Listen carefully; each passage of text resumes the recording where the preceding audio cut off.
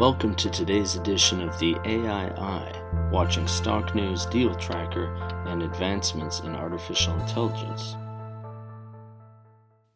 Hello, everyone. This is Sam Mowers here. Welcome to another episode of the AI Eye podcast.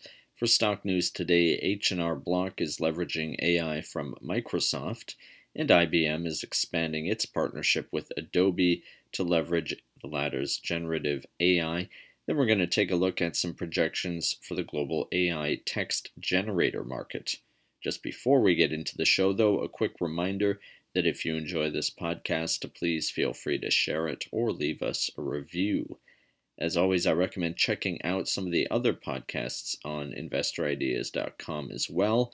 This includes the Cannabis Podcast, the Clean Tech and Climate Change Podcast, along with many others.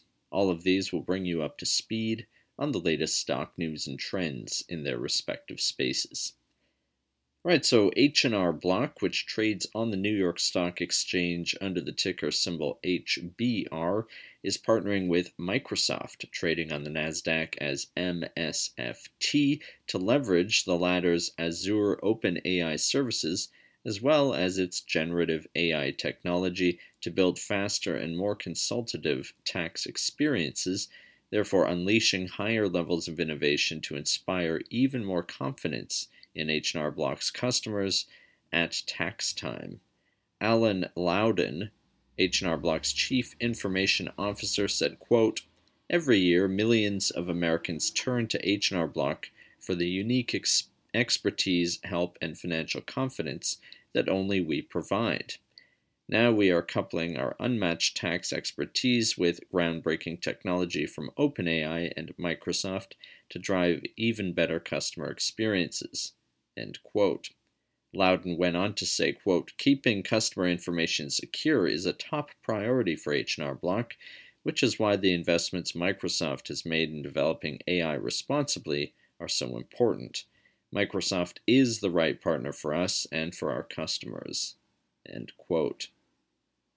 Next up, IBM, which trades on the NYSE under the ticker symbol IBM, has announced plans to expand its partnership with Adobe, trading on the NASDAQ as ADBE, so as to help brands successfully accelerate their content supply chains through the implementation of next generation AI. So, this will involve the leveraging of Adobe's family of creative generative AI models including Adobe Sensei Gen AI services and Adobe Firefly, which is currently still in beta. Matt Candy, the global managing partner of IBM iX Customer and Experience Transfer- Transformation over at IBM Consulting, explains, quote, we're seeing incredible momentum in AI adoption as more brands turn to generative AI to create seamless and highly personalized customer experience to drive growth and improve productivity.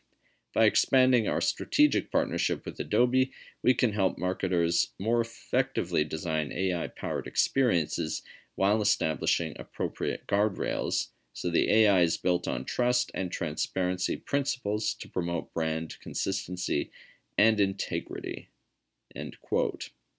We'll pivot away from stock news here to take a look at a report published by Allied Market Research. This one finds that the global market for AI text generation is projected to grow from $423.8 million in 2022 to $2.2 billion by 2032, registering a compound annual growth rate of 18.2% in the forecast period running from 2023 to 32. The following excerpt from the report overview outlines some of the key factors influencing this market's growth. Quote, growing trend of natural language processing or NLP technology and rising demand for cost-effective and quality content generator tools propel the growth of the global AI text generator market. In addition, increasing demand for personal assistants and chat bots fuels the growth of the AI text generator market. However, ethical and legal concerns and data privacy and security issues are expected to impede the market's growth. Furthermore, data privacy and security issues are expected to provide lucrative opportunities for the market during the forecast period. End quote. And that's it for today's AI Eye. If you would like to be a guest or sponsor for this podcast, contact InvestorIdeas.com. Investor Ideas reminds all listeners to read our disclaimers and disclosures on the InvestorIdeas.com website, and this podcast is not an endorsement to buy products or services or securities. Investors are reminded all investment involves risk and possible loss of investment. To hear more InvestorIdeas.com podcasts, please visit InvestorIdeas.com slash audio. And a reminder, you can also hear our podcasts on Apple Podcasts, Audible, Spotify, TuneIn, Stitcher, Spreaker.com, iHeartRadio, and most audio platforms available. This podcast was sponsored by AppTech Payments Corp. AppTech is an innovative fintech company whose mission is to deliver a better way for businesses to provide their customers with immersive commerce experiences.